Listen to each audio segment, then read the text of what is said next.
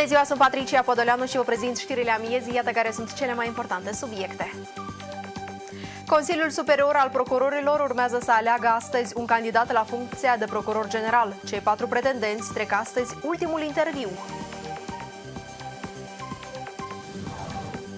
OSCE a propus o variantă de compromis pentru deblocarea procesului de negocieri în formatul 5 plus 2. Discuțiile vor avea loc la început de decembrie la Bratislava.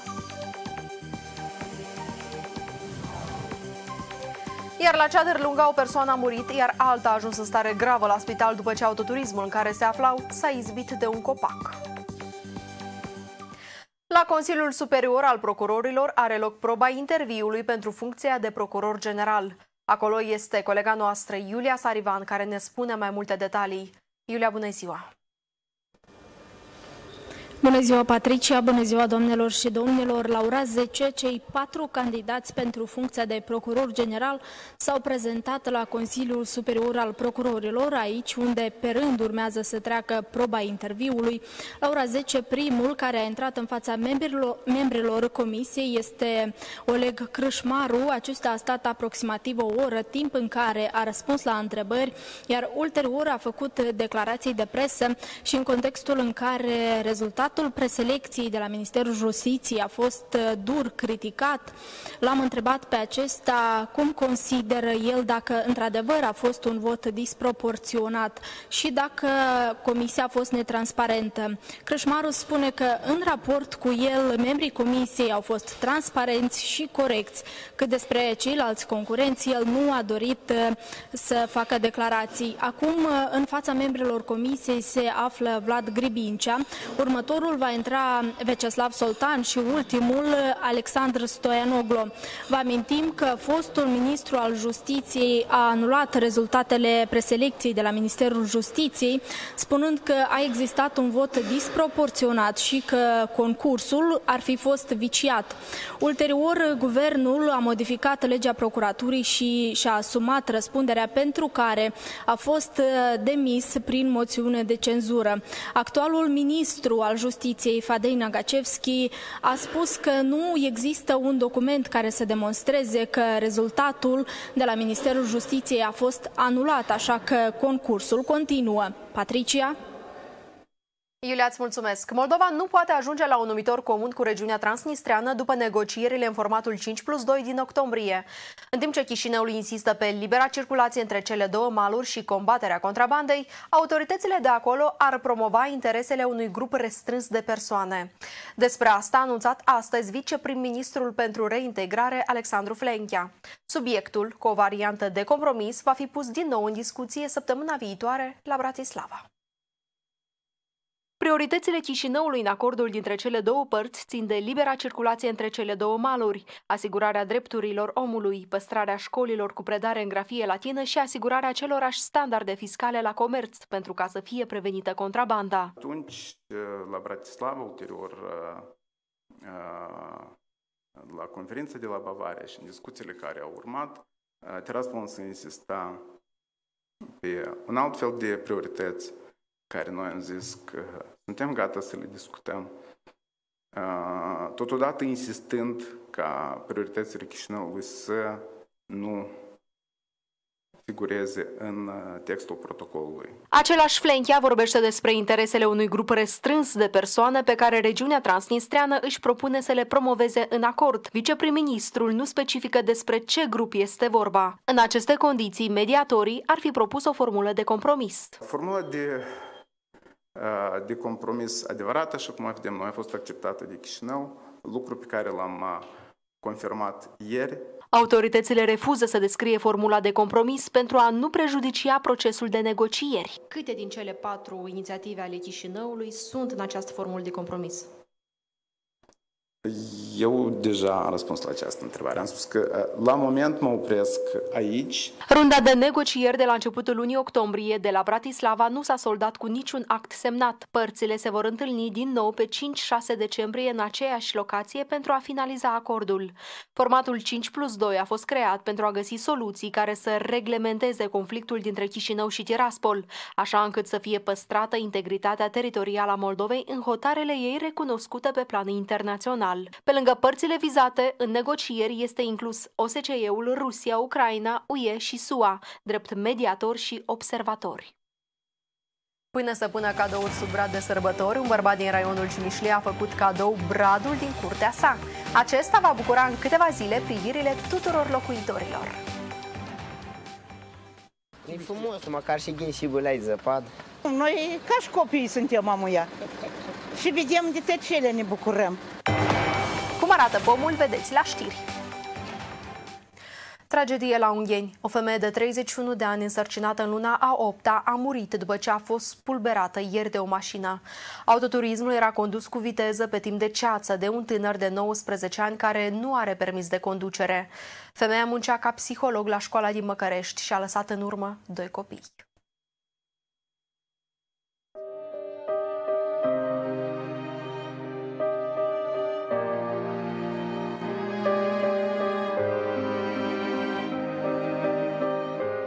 Era în jurul orei 11 când s-a produs nenorocirea. Femeia se întorcea acasă de la un control medical. A coborât din mașină și, aflată la un pas de a intra în curtea locuinței, o mașină a dat peste ea cu viteză. O mașină care vine deplasat cu viteză excesivă și în, în cotitură, cum se zice, nu s-a, a făcut o depășire incorrectă. El n-a intrat pe poarta în ogradă.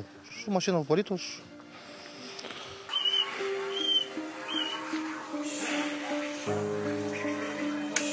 Din imaginele surprinse la fața locului se vede că autoturismul a distrus o parte din gardul casei în care locuia victima.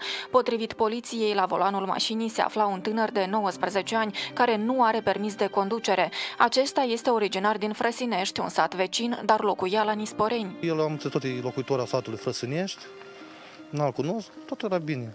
Așteptam am de curând încă a treilea urmaș, nepot. Poliția susține că șoferul a luat mașina de la un prieten și că el nu a consumat alcool. Ar fi încercat să depășească un alt automobil, dar din cauza ceții și a vitezei a pierdut controlul volanului și a spulberat femeia. Ei au fost la control. Ajung acasă și la jumătate de oră ne spune că gata, ce accident s-a întâmplat. Victima însărcinată în luna 8 a fost transportată de urgență la Spitalul Raional din Ungheni. Din nefericire însă nici ea, nici fătul nu au putut fi salvați. S-au efectuat toate măsurile de resuscitare posibile și imposibile, însă traumatism incompatibil cu viața. Femeia mai avea doi copii de 5 și 10 ani. Acum micuții au rămas în grija tatălui. Șoferul a fost reținut, iar pe numele său a fost deschis un dosar penal. El riscă până la șapte ani de închisoare și anularea dreptului de a mai conduce mijloace de transport.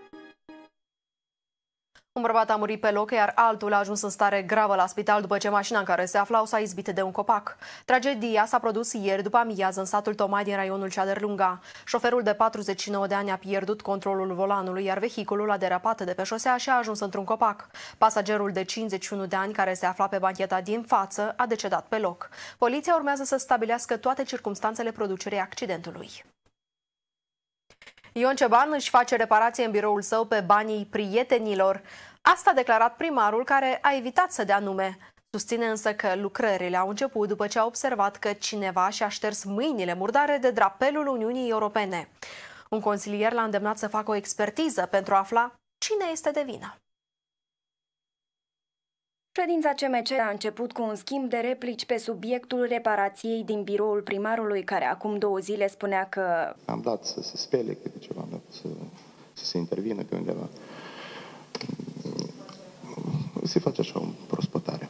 Am auzit că primarul s-a apucat să spele drapelele în uh, cadrul primăriei și întâmplător îi se face reparații și în propriul birou. Ei bine, îi atrag atenția pe calea dumneavoastră că drapelele care stau la intrarea centrală în clădirea primăriei n-au fost spălate de mai bine de 2 ani. După această remarcă, Ion Ceban a venit cu un îndemn către pretori. Grijiți ca drapelele să fie curate. Cât despre lucrările din biroul său... De drapelul Uniunii Europene cineva și-a șters mâinile după ce a mâncat câte ceva. Și din câte înțeleg, nu odată. Iar în jaluziele, dacă tot s-a discutat despre acest lucru, cineva și-a suflat nasul. Iar consilierul Pele Ion Cebanu i-a sugerat primarului să facă o expertiză pentru a afla cine este de vină. Domnul primar, neastră văd că în ultima vreme specialistă în muci. Dacă ați găsit ceea ce ați găsit în birou propriu. Ultimul care s-a perintat pe acolo a fost prietena dumneavoastră Silvia Radu.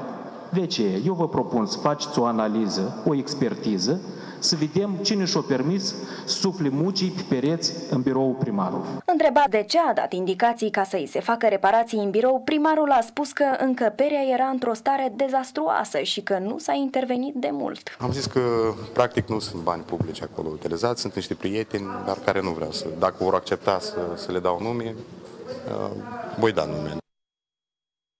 Peste 60.000 de oameni sunt evacuați în Texas, totul după o explozie puternică ce s-a produs la o uzină chimică. Pompieri au luptat cu flăcările mai mult de 12 ore.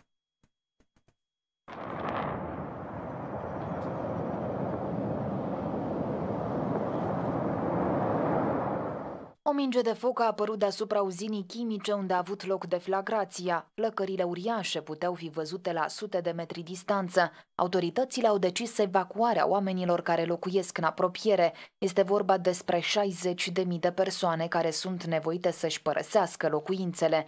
Pompierii au avut o misiune grea. Salvatorii au luptat cu flăcările mai mult de 12 ore. Presa străină scrie că de fapt ar fi fost două explozii, dar a doua a provocat incendiul. Trei persoane au fost rănite și au ajuns la spital. Nu este clară deocamdată cauza deflagrațiilor. Un bărbat din raionul Cimișlie a decis să facă un gest frumos înainte de sărbători. Bradul, care i-a crescut în curte timp de 12 ani și a făcut iernile mai frumoase pentru familia acestuia, va încânta acum privirile tuturor locuitorilor. Peste câteva zile, pomul de 12 metri va străluci în centrul Cimișliei.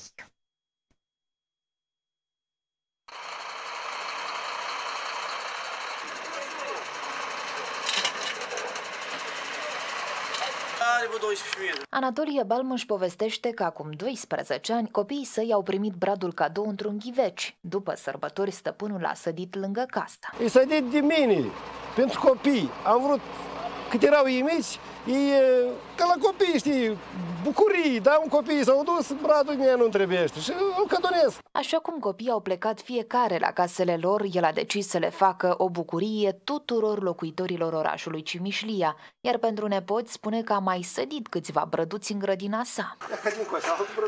pentru nepoței mai departe. Primarul orașului a rămas plăcut surprins de gestul bărbatului. Acest brad vreau să vă spun că reprezintă o bucurie atât acelor copii care sunt cât și în oraș Cimișlea, cât și celor maturi, pentru că fiecare matur în suflet undeva are și o părcică de copilărie. Oamenii au privit cu mândrie pomul de Crăciun, care le va înfrumuseța orașul de sărbători. E frumos, măcar și ghinșibul ai zăpadă. Noi ca și copii suntem amuia și vedem de tot ce ne bucurăm. E foarte frumos, pare foarte natural. Dacă o să fie împodobit, cred că o să fie arăt și mai frumos. În următoarele zile, pomul va fi împodobit. Luminițele de sărbătoare se vor aprinde pe 1 decembrie.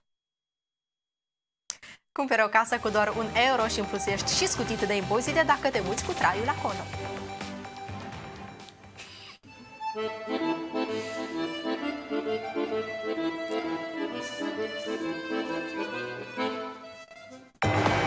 puteți beneficia de o asemenea ofertă, vă spunem în câteva momente.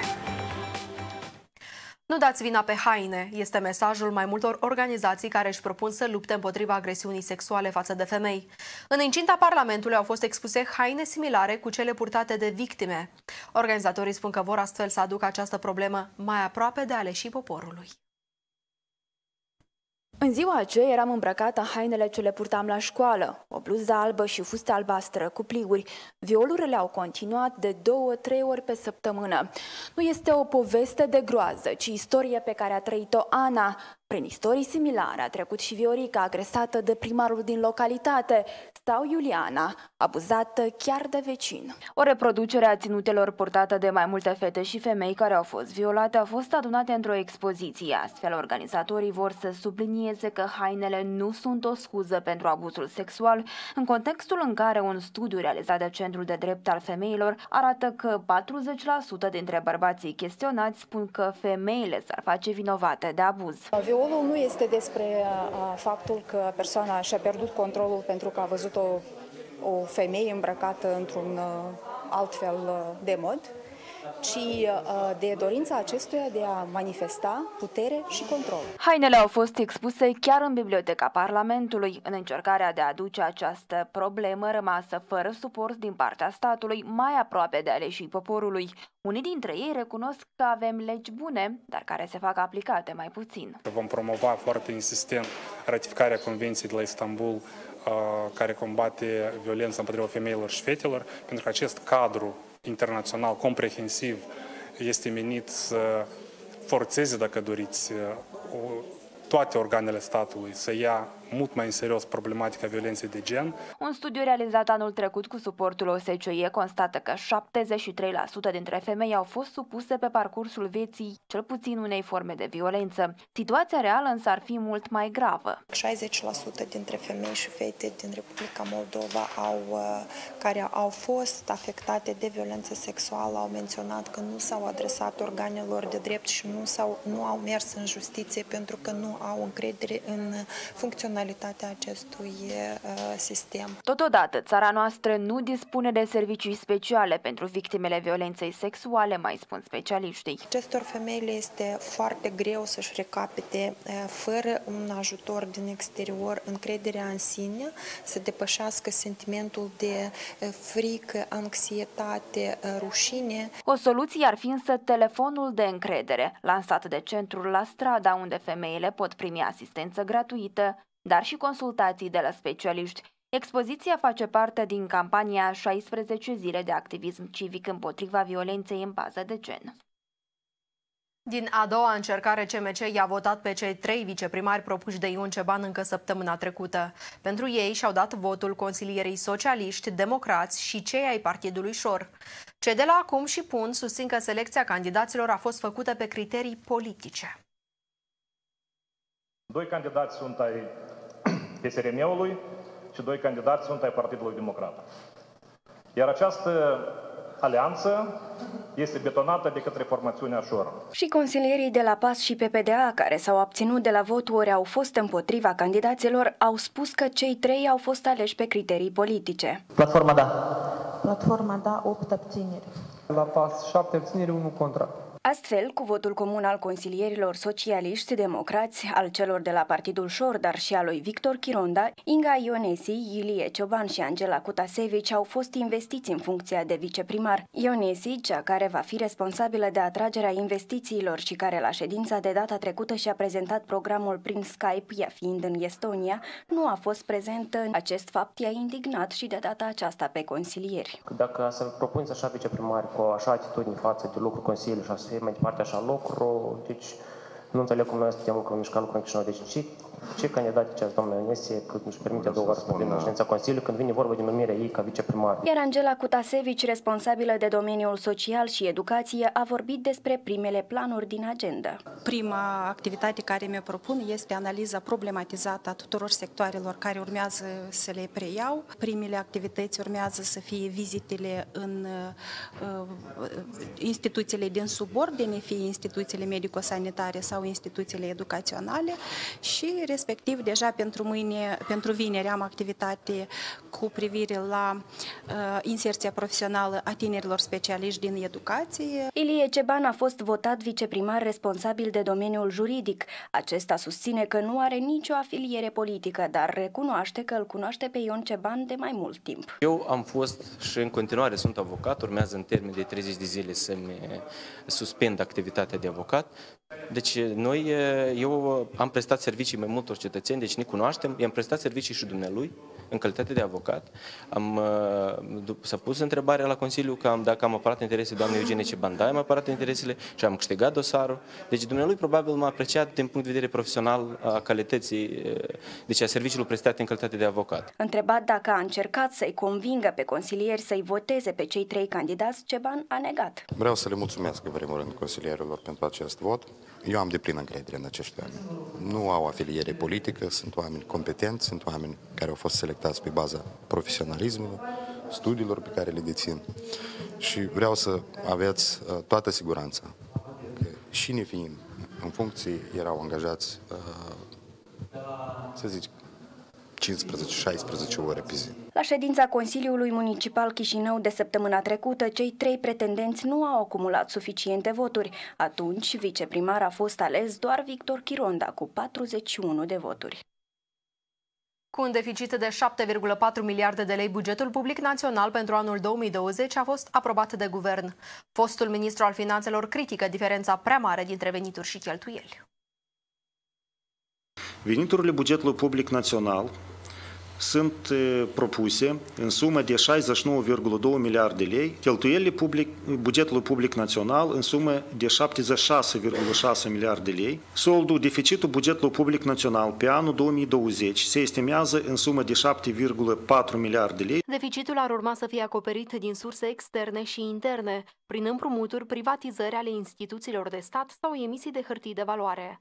Natalia Gavriliță spune că atunci când ea conducea ministerul, se vorbea de un deficit mai mic, cu peste un miliard de lei. Noul ministru Pușcuța promite 72 de proiecte din bani străini care vor fi făcute la noi în țară în 2020. Programul de dezvoltare a infrastructurii drumurilor cu suportul finanțării externe, 1 miliard 300 milioane lei. Proiecte de susținere a programului în sectorul drumurilor finanțat de BERT și BI, 1 miliard 250 milioane lei. Proiectul Reabilitare drumuri locale, finanțat de Banca Mondială, 540 milioane lei. Proiectul Reforma de Educație din Moldova, 255 milioane lei. Proiectul Construcție Penitenciarului din Chișinău, 340 milioane. Bugetul țării a fost creat având la bază o creștere economică de 3,8% și o inflație de 5,7%. Promisiunile sociale ale președintelui Igor Dodon au fost aprobate de guvern fără discuții. Așadar, tinerii specialiști în medicină vor primi indemnizații unice de 120.000 de lei, iar pensionarii care au venituri mai mici de 2.000 de lei vor primi un ajutor de sărbători de 700 de lei. Crește și ajutorul pentru perioada rece a anului de la 350 la 500 de lei, care va fi acordată din această lună. Banii pentru aceste proiecte vor fi alocați din bugetul de stat. Case la preț de 1 euro pot fi cumpărate într-o zonă pitorească din Italia. Încă un orășel din peninsula a scos la vânzare locuințe la preț simbolic, încercând astfel să atragă oameni în regiune. Mai mult, doritorii primesc și scutiri de impozite.